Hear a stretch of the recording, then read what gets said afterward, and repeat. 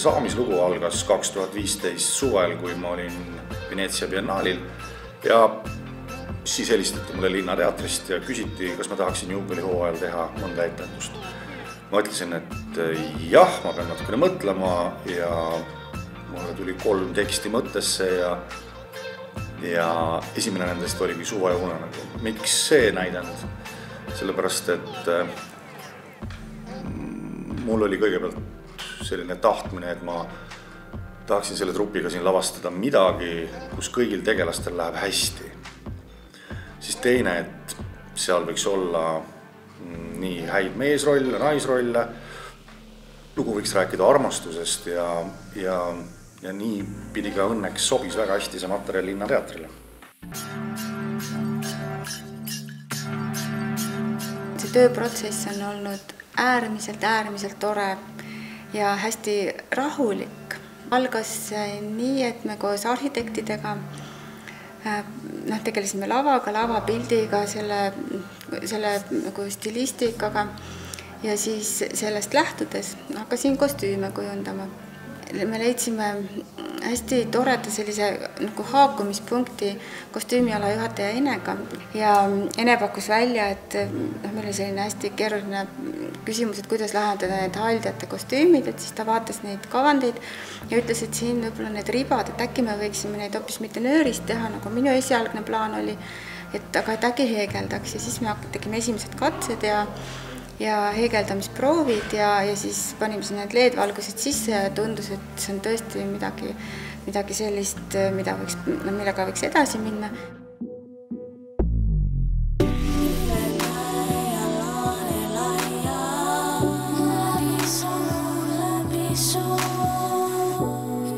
mina olen Rauno Subko, suveöö unenäo liikumisjuht ja hetkel me tegeleme Haldjate esimese stseeniga nimelt just selle koreograafia puhastamisega. et meil on veel kaks päeva jäänud äh, liikumist puhastada ja ma arvan, et me jõuame kenasti valmis.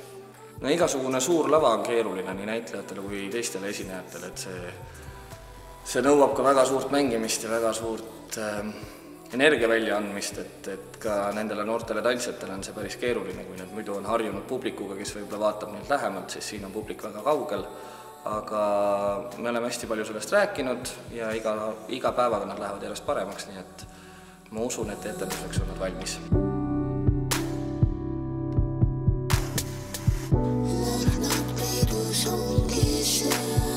oleme Linnateatri lavaaugus, kuhu on esimest korda püstitatud suur telk.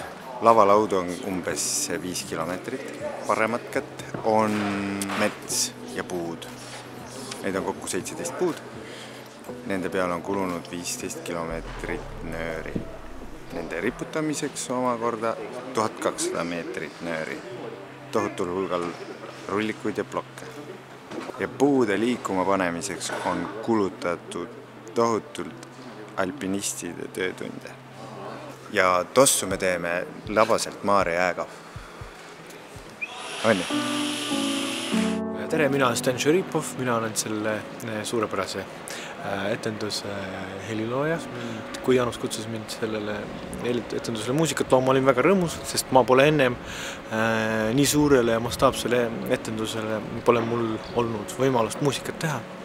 seepärast ma olen väga rõõmus ja äh, selle muusika tegemise juures ma lähtusin pigem sellisest asjast, nagu seda on kaasaegsus ma mõtlen, et eh, kuna me elame aastal kaks tuhat kuusteist, siis neid, siis kunstiteosel võiks olla oma äh, noh, niisugune seos äh, kaasajaga ja selle hetkega, kus me just praegu elame, et võib-olla see muusika ongi just se sealt koha pealt äh, alguse saanud. mulle meeldib see, kuidas Jaanusel on väga niisugune täpne visioon asjast, seda on olnud huvitav vaadata. viimane nädal on käimas ja ütleme nii et, et üheksakümmend viis protsenti helidest on koos Äh, muidugi Jaanus äh, üleeile ütles hirmutavalt, et ööbikuid on liiga vähe.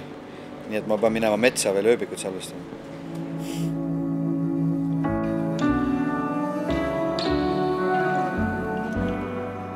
mina olen siis äh, tüki juures helimees, et kui Veiko Tubin on tüki helikujundaja, siis mina vaatan, et kõik tema mõtted jõuaksid võimalikult kvaliteetselt ja efektiivselt läbi kõlarite publikuni ja seekord meil ongi nüüd lõppenud järjekordne proovipäev, kus me tegelesime tükile suurelt osalt lihvi andmisega. ja nüüd tulevas läbimängus, mis algab kohe-kohe, selgubki, kas meie töö on kandnud vilja üks põnev asi on küll selle materjaliga, et mul vist ei ole mitte kunagi varem olnud nii lihtne truppi moodustada näitlejatest ehk et teha osade jaotust. Ma pakun, et see toimus umbes viie minutiga. ma olen väga suures vaimustuses sellest näiteseltskonnast, kes siin majas töötab. ma arvan, et Linnateater on tõenäoliselt enda kõige paremas vormis üldse enda viiekümne aastase ajaloo jooksul. ja sestap ka oli minu soov seda etendust lavastades ka teha omamoodi kingitus teatrile. ehk et tegemist on ju unenäoga, suve ja unenäoga. Ja see ka, et, et siis võib-olla korraks juubeliks on Linnateatril oma unenäoline suur saal Äh, ja, ja seetõttu on ka lava küll katus peal.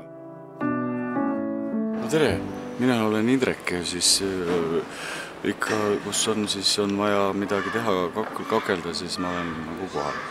kell on kakskümmend kaks kolmkümmend, jätkame prooviga ja üht-teist on vaja veel sättida.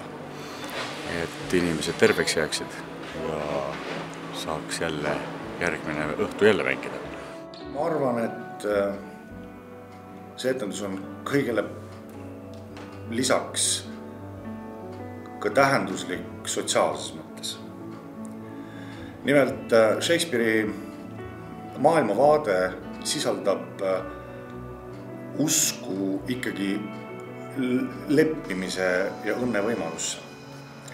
Ja selles näidendis ka on üsna palju vastuolusid tegelikult ja, võib öelda, et kõik tegelased ikkagi stardivad võrdlemisi probleemselt aga siis on oluline see, et need vastuolud saavad ületatud ja, ja lõpuks jõutakse harmooniani. me teame, et harmoonia on alati hästi äh, ebapüsiv.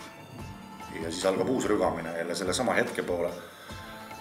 ja allegooriana siis teater kehastabki sellist äh, nii-öelda harmoonia juhtumise paika või paika, kus siis võib ähm, võivad vastuolud ületatud saada ja, ja kõik võivad õnnelikud olla ja see on ka selles näidendis sees, kus siis käsitööliste näitemängus tegelikult kõik sotsiaalsed kihid äh, ja, ja kõik erimeelsused äh, saavad läbi sellise naeru puhastatud. et ma arvan, see on pigem ühiskonda liitev etendus, kui nende inimeste vahele piire tõmbav.